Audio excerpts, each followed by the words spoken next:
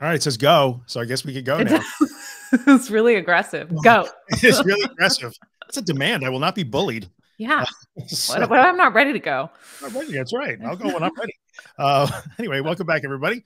We're here for oh, Fire and Ice. Here we are. This is the fifth one of these we did. I'm just going to keep going with ridiculous stupid. It's humor. It's humor and recovery, right? Right here, as we call ourselves Fire and Ice for no apparent reason except for oh, that you have a history of playing no, hockey and I live in California. That's it. So. It is such a stretch and it's ridiculous. It's absurd to the point of ridiculous and like almost cringy. So I like yeah, it. I like it. It's yeah. good. Who are these yeah. Fire and Ice? What's with them? What are they? An 80s disco act? I hope so. I hope this is oh, where All I want to be is an 80s. Wow anyway, for those who do not know Fire and Ice, Lauren Rosen, LMFT, therapist in California and a friend of mine. We do these on a re pretty regular basis. We talk about anxiety and anxiety recovery and different topics that you guys want us to cover. So welcome back, Lauren. Welcome back. And if you're joining from from my platform, that's Drew Linsalata right there. He's okay. great. The Anxious Truth. He's got a podcast. He's got books. He's got an Instagram platform. He's got it all. I don't know when this turned uh, into a you commercial. no, when exactly right. When did it turn into a commercial for Drew? I like it though because well, you deserve a commercial.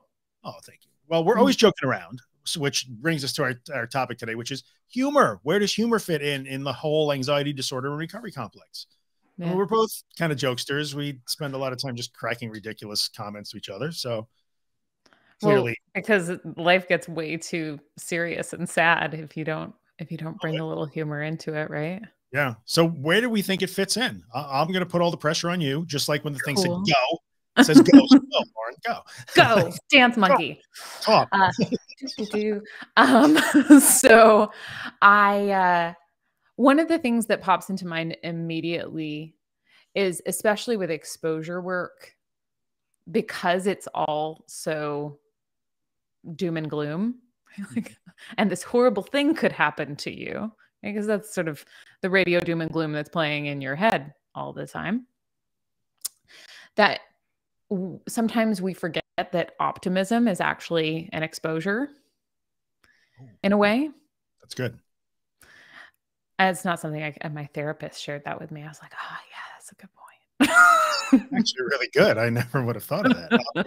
Exposure. Okay. Okay. Because I, expecting that good things will happen is yep. scary. Yeah, because there's no protection in that. I'm not mm-hmm. guarding against the bad if I'm just allowing good things or I'm expecting good things. right. Yeah. Right. So having this levity, this playfulness, this yeah, maybe the bad thing does happen and and treating it lightly in and of itself is I think an an adjunct, a support to exposure work rather than keeping it always in this the the dark things possibly going to happen like yeah maybe maybe maybe that happens and maybe the good thing happens. I really don't know. Okay. I guess it's not really humor per se but it's connected in a roundabout kind of a way. Yeah i mean at least it tends away from the dark clouds you know for sure mm-hmm. if you're going to let some optimism in. I think like the humor for me i know in my own personal humor is a lot easy to come by after the fact. I don't know if you found the same thing. like in the heat of the moment, there was no nothing was funny. I mean, there yeah. nothing was funny when you know when you're actually racked with it. But sometimes it was funny the next day, like in the you know when rationality got a chance to come back, it was a little bit funny. Down the road, now the things that I did to me just cracked me the hell up. I can't even imagine. There's no logic behind it, but I did them anyway. Yeah. Um, but even at the time, the one that I and I tell the story often, so I'm sure you guys, some of you guys have heard this, but I had this irrational fear that the the any new food in the fridge had been tampered with. So, hmm. hey, I would sure love some orange juice, but that's a brand new carton of orange juice, and clearly it's been poisoned. So Naturally. I would just yeah, no, natural. So what would you do about that? You would you throw it away and and make sure that nobody gets poisoned? No, I'll just let somebody else in the house drink it first. right? So now that is hilarious. The it was like, what kind of a monster am I? Like these thoughts would be in my head. Mm. But then the next day, if I wasn't feeling it, I would see the humor in that. Like that is patently absurd. And the fact that I would let someone else drink it first was just like really like I had to just roll my eyes at the absurdity of it. And there was a little bit of funniness in that. Absolutely. Yeah. And allowing some of that did help me, I think.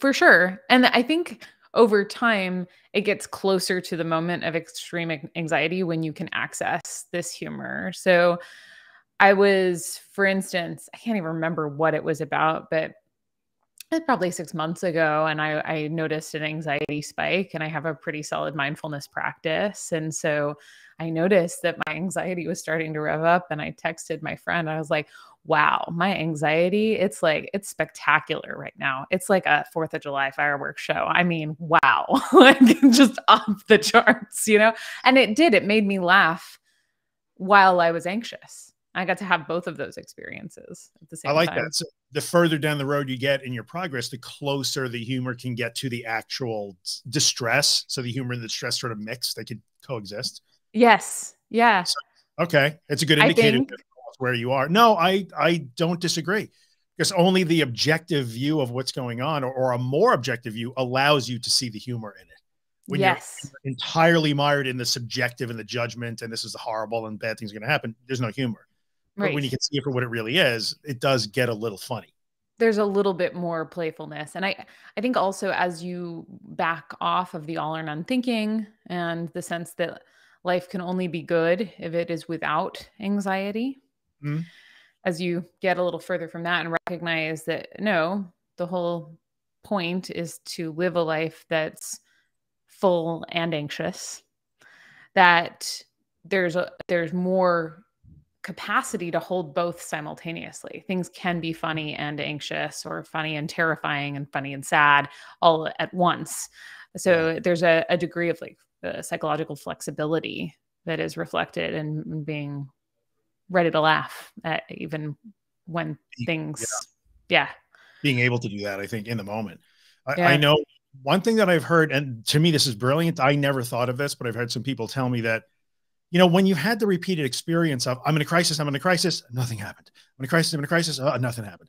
Once you have that experience enough, I've heard people who are able to say, I can almost look at it as future me, like hmm. tomorrow mm. me, when this has passed, I can almost see what tomorrow me will see, and then they could start to almost make fun of it as a yeah.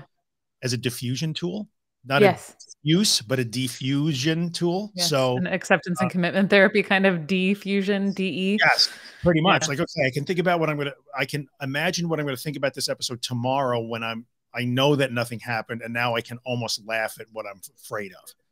Yes. If, I think yeah. there's an important caveat to that, which is if you don't take action based on so the second that you start to do a safety behavior or the or a compulsion your mind is then going to attribute your safety after the fact to the ah, behavior.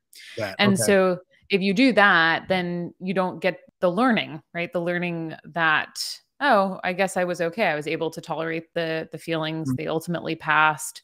Uh, it seems like the bad thing hasn't happened yet. So i guess I don't know. It's, it seems like I don't need to do that thing in order to survive. And I think at that point, you can then project in the future, go, oh, yeah, I've, I've, I know I've done this before. Mm-hmm. And mm. it's in the moment terrifying. And if I accept this terror, it, it's, you know, probably going to benefit me overall based on my experience. Yeah. So Does that the, make sense? Yeah, it does make sense. I see where you're getting at. So the concern there would be that the the attempt to inject humor can become its own like a tool, a compulsive tool, or a safety behavior. Right. Like, oh, I have to make jokes to knock this down to be okay.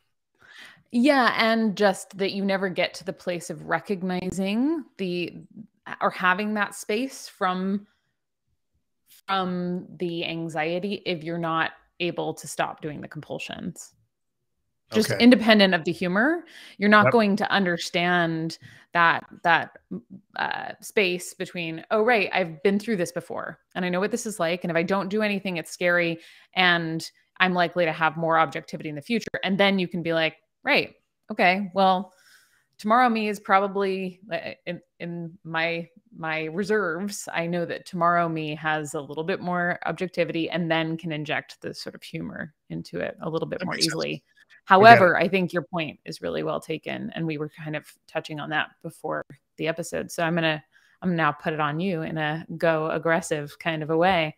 Yeah. Talk to us about how how humor can become a compulsion or a safety behavior, Drew.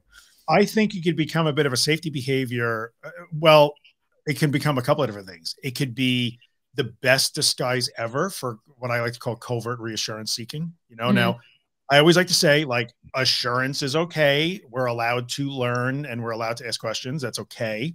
Not everything is is bad reassurance. But when you've already heard the answer 16 times and you want the 19th, that's where the problem is. But so humor often gets used as a, a gloss or cloak around that reassurance seeking. So I'm going to make a funny joke. I I see no humor in the way I'm feeling right now, but I will make a joke to you, my friend. Hey, Lauren, let me tell you this funny thing about what my body's doing right now. uh, Oh my gosh, I did this in a meeting the other day. Actually, I did. I like. I'm just gonna straight up call myself out. Uh, sorry, I feel like I, I interrupted hey. your. Oh your... no, no, this is exactly what we're talking about. Bring it. So I I was talking with a colleague and I said something that I realized in the aftermath could have been interpreted as somehow unkind or or uh, insensitive or or as a a criticism of her. And I found myself sort of reading her facial expressions and trying to determine, right, compulsively, as we do. Okay. Uh, sometimes from time to time, oh, what is she thinking? As if I could actually determine that. but right. I I found myself at a certain point going, oh i'm just gonna i'm i'm gonna do my best to accept uncertainty right now that so and so is not upset with me. And it was in a so it was in a joking manner completely. And then she laughed and i was like see i'm good. That's yeah see? I'm gonna make a joke to get what i want. Mm-hmm. so yes when you're in that scary situation and you're feeling like oh i want to ask somebody about this or i i need to be told it's okay but you know you're not supposed to making a joke about it. Huh? My my stupid heart is doing flips again, huh? LOL. Like I see it in my Facebook all the time. People, someone, and look, I'm not picking on people. I did it too. We all do it, but yeah. they'll roll in and they'll just make a statement. Yeah. Having a lot of, you know, uh, palpitations, you know, hate those. Stupid heart, LOL. Okay, yeah. well, what, what were you after? So to me, humor can become safety behavior in that form. Like I'm going to cloak my reassurance seeking in a joke and can I, I mean, look, I don't know how old everybody is watching, but I was doing this when Reagan was president. So my anxiety is calling out your anxiety on this bullshit. I did all of those things. I know, I know exactly why, because I did all of them. I was doing them before a lot of you guys were born, sadly, but like, okay, that that's a thing. That's part of how humor can become a safety behavior. Yeah. In, in one way. Yeah. Um, Absolutely. yeah. Yeah. Also that, or sometimes it becomes a frustrating attempt at a safety behavior that doesn't work like, oh, I'm just going to start cracking jokes and haha, try and make myself laugh, which we know we can't do. Can't yeah. demand to feel something that is funny. So I've seen people get really frustrated when humor is their default coping mechanism and it doesn't work in, yeah. in the face of this thing. Sometimes they get a little like discouraged, like, oh, it's not working. Yeah. Yeah. That's well, and that's the thing well, and uh, it's an indicator that you're using it compulsively because if if you find yourself trying to do something and then it re-triggers you, right? like if you're trying to get that, which compulsion safety behavior, behavior so often do re-trigger us, which is one of the major issues with them. Frankly, I mean, you're going to make it worse potentially. Um, but I, I think the other thing that we were talking about before we started is that sometimes you can try to laugh off your anxiety as a, a means of discrediting it. Yes. Like, yeah, I'm so sure that that yeah, that doorknob has germs on it. Good point, brain. Right. Which, uh, look, I don't even think that that's inherently a bad way to react. I think if you have a balance in your recovery practice of of recognizing that I do at at the bottom of it have to accept the uncertainty that that's it's not a problem. However, if that's your main go-to and you're trying to use it to convince yourself that your anxiety is full of it and that the bad thing isn't going to happen, we've lost the thread, I think. I think so too. And that's the difference between you don't use it as a convincing or a reassurance. Like, again, I hate to keep using the word reassurance, but when you're unsure, trying to use hum, uh, humor to knock down that discomfort probably isn't a good move. But as that, again, that defusion tool, like, oh, yeah. I'm terrified right now because I'm pretty sure this doorknob is contaminated, but I know crazy brain you i know you're trying to suck me in and yeah. I, i'm calling you out and i'm not going to engage with that but i am yeah. terrified uh, yeah exactly i am scared but okay i'm going to call you out for being like a, jer- a jerk brain you know right. okay and being playful with it in in yeah. the service of that and maybe talking about the humor part this is where it's funny that you brought up defusion earlier because defusion techniques i think can be really great for this and like singing a little song like while you're terrified right? So totally accepting that your the fear is pumping through your veins. It's like I am gonna touch this doorknob and it is gonna give me a disease, right? Like uh, that. At least you know, like you're dancing to you're it. An '80s disco act, little by little. I go. forgot. See, it's happening. It's happening. So you know, but the, there's there's at least like okay, well, because we're riding this feeling, and at least I might as well just yeah try and play while I'm at it because otherwise it's just going to be miserable. In that respect, especially in your specialty where you're trying to take the bite out of those thoughts and those yeah. sessions, you would think that being able to do that in a, at least an attempt at a humorous way has to start to try to take the bite out of that. I'm going to sing a song about my contamination. And it often does. I think it's all down to your, uh, what's the word that I'm looking for? Your intention. Yeah.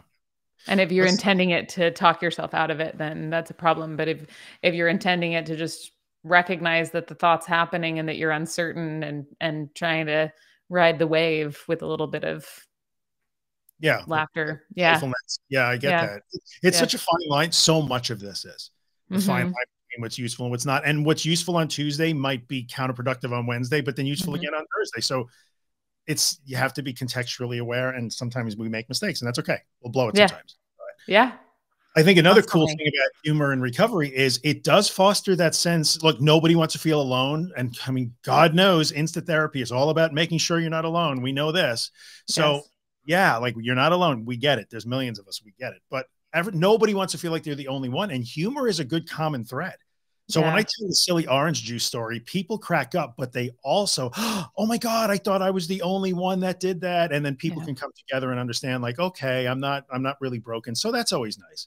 I yes. Mean, we also see that pop up around, you know, what about Bob? One of my favorite movies. Yes. Anybody watching this right now loves What About Bob. I got to find oh, a way wow. to get permission to stream that to like everybody one day. We'll all watch together. I know. We should. That's that would be. I would be in for that, and uh, like oh, a real time watch session of what about. I don't know who owns it, but maybe I'll, I'll make a note about that. Maybe I'll reach out. It's an educational thing. We have a community full of people dealing with anxiety disorders that love what about but what about Bob? Can we stream it once? Totally. Maybe they'll give yeah. us the okay. We'll see.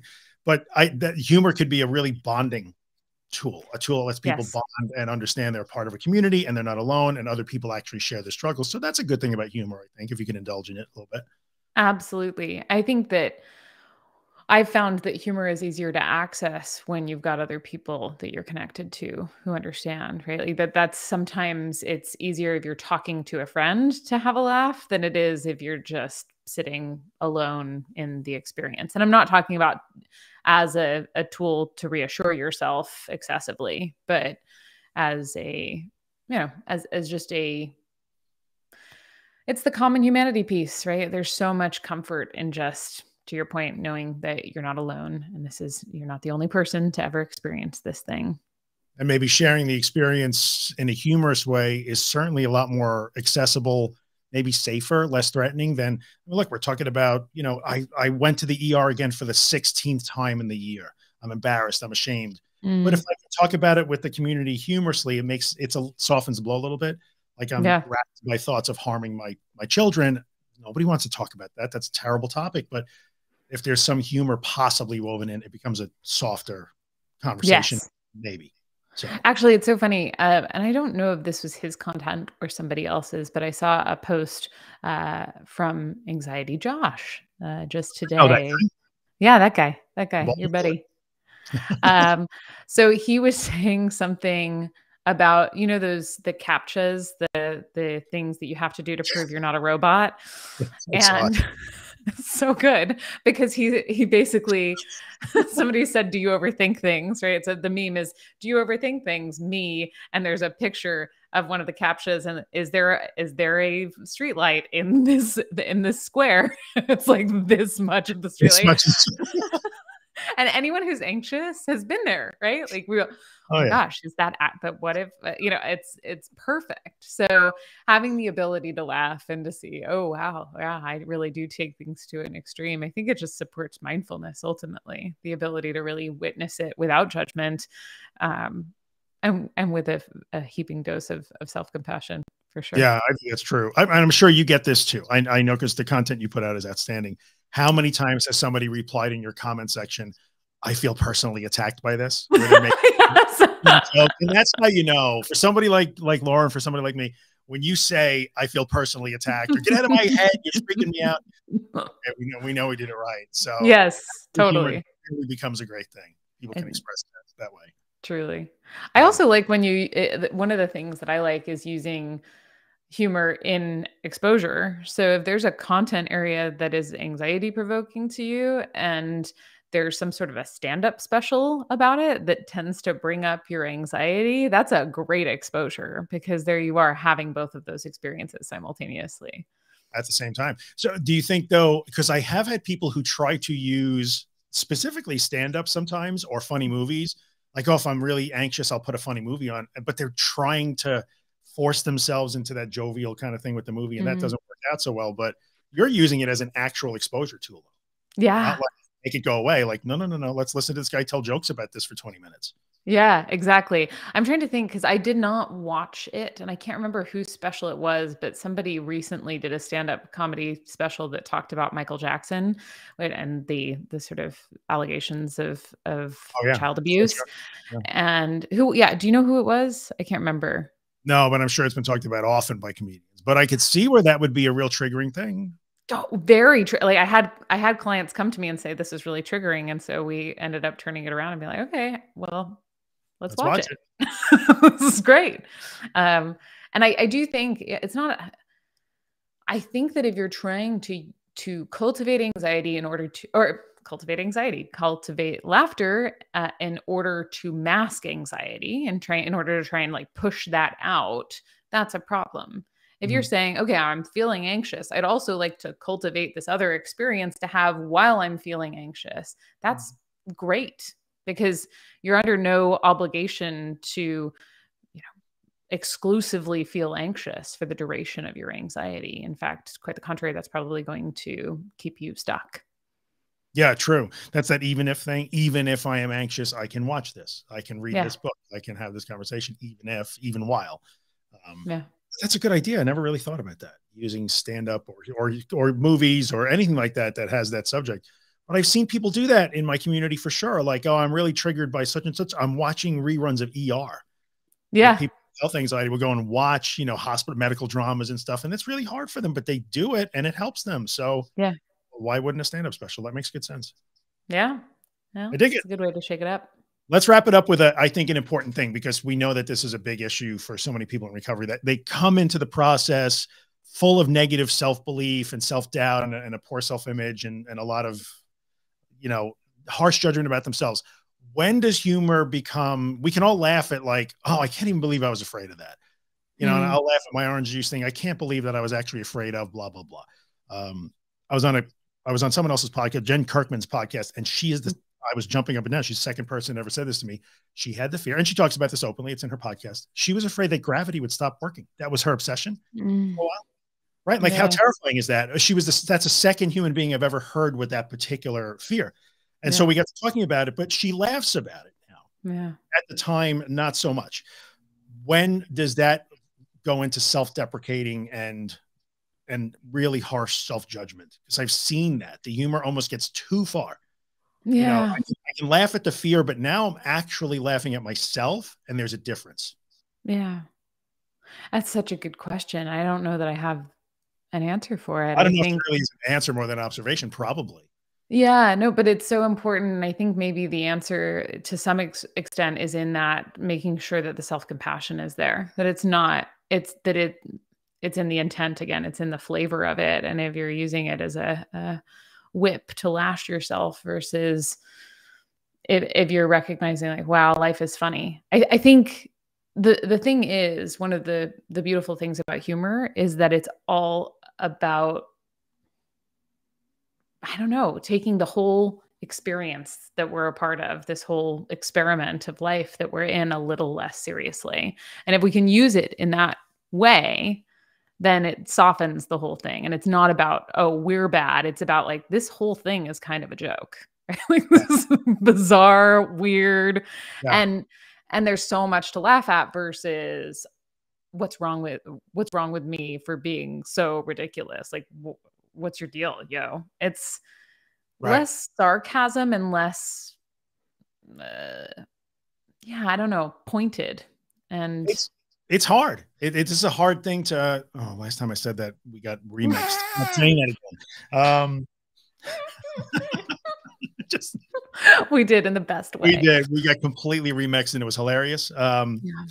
So I, I, think there's that fine line and just maybe being aware of it. There's no answer here, of course, like in many instances, no. no answer. Just being aware that like, well, when are you going over the line where now you're actually making fun of yourself as opposed to let me see the humor in what I thought, as mm-hmm. opposed mm-hmm. to let me make fun of myself by making jokes about who I am. Yeah. Or declaring that thought to mean I'm broken. So let me make fun of being broken. And I've seen that and it's it's heartbreaking. So sometimes the humor gets used as a weapon. It's so true, and and I do think that that mindfulness piece of just taking a step back and witnessing yourself instead of, of making it about you as a person. I I, I know that, and I, I'll share this because as we round this out, but I I laugh now at some of my obsessions, in particular, my obsessions around relapse with alcoholism right? Because i spent 2 years of my life trying to trying to figure out whether or not i'd relapse by eating a piece of tiramisu right? Like this was my life and this is my reality. And, and honestly it is it's it's sort of like whoa i really i really took that and, and went with it you know? And that is humorous to me now. And i think it, to your point earlier wasn't humorous to me at the time but i can really and and that injecting that humor into my reflection on that mm-hmm. in this very not it was horrifying and terrifying and i have so much uh, like respect for myself in trying to navigate that and if i can look back and inject a little humor into that moment i'm more able to inject humor into these present moments where it might be more challenging yeah, which is uh, great. And then you can look back at the process that you went through as somewhat ridiculous and humorous, not that you were ridiculous.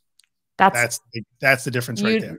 Totally just nailed it. That's that's the the difference. Is the process is funny, uh, not I'm funny or I'm a joke or I'm stupid. Which are some of the same principles you find with with guilt or regret. You can regret what you did without actually passing judgment about who you are. So this yes. this is a whole different discussion. But anyway, yeah. see, we were worried. Maybe like, next time.